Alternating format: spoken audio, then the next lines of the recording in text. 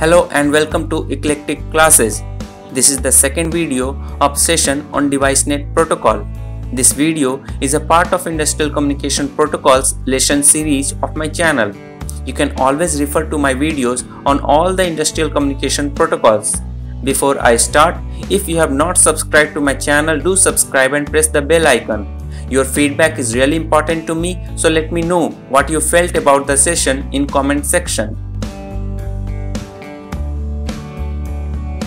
In our last video, we came to know that DeviceNet uses three types of cable. These three types of cable have two pair of wires in it. Red and black pair is used for providing 24 volt DC power to the connected nodes. Blue and white pair is used for signaling that is information exchange. Power and signal are on the same cable and that is a great advantage in terms of cable laying cost as instead of two power and signal cable only one cable is sufficient for DeviceNet networks. DeviceNet supports a range of connectors for connecting equipments onto the bus and drop lines with few conditions which must be followed while using any connector. Those conditions are as follows. All node must have male connectors Irrespective of the connector chosen, it should be ensured that the device could be connected or disconnected without disturbing the system operation.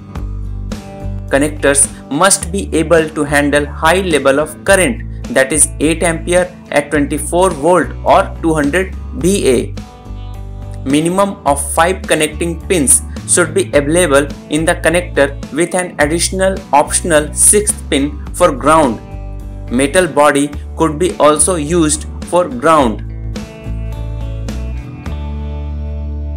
Normally, two basic type of connectors are used in DeviceNet. Open style connector, pluggable or hardware and closed style connector, mini or micro style. Different types of taps, closed style taps, open style taps and IDC taps, multi-port open taps, power taps are used in a DeviceNet network. One or more than 124 volt power supplies can be used to power the devices on the DeviceNet network. While powering up the DeviceNet network, it must be ensured that the 8 ampere current limit on thick or flat wire and 3 ampere limit on thin wire is not exceeded. The power supplies used to power up the DeviceNet network must not be used for another purpose. It should be dedicated to DeviceNet network only. In a DeviceNet network, grounding of the system must be done at one point only location of the grounding should be as close to the physical center of the network as possible. Grounding connection should be done at a power tap in which a terminal exists for grounding purpose. If the network is connected to ground at some other point, ground shall not be provided at the power tap. It shall be ensured that a single ground connection is established in the network. There are four wires in a DeviceNet cable. Red and black are for supplying power and white and blue for signal.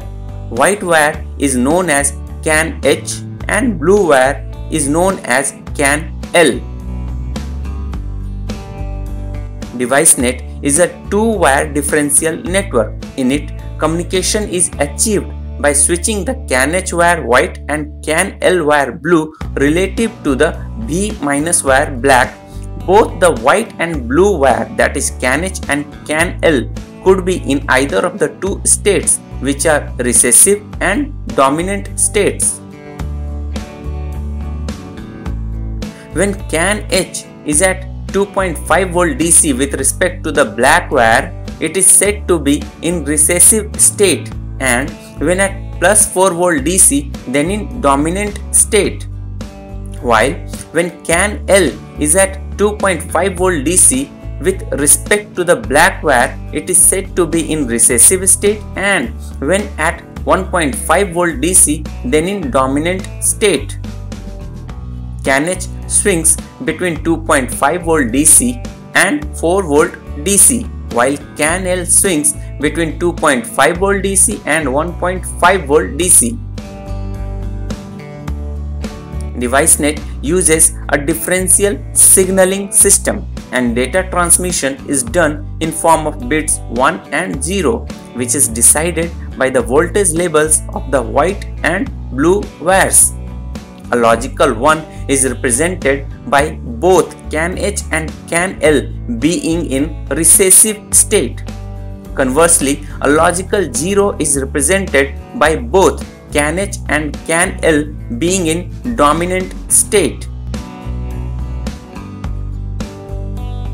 Future of DeviceNet DeviceNet is a device level network. It is an open protocol because of which it got multi-vendor support too.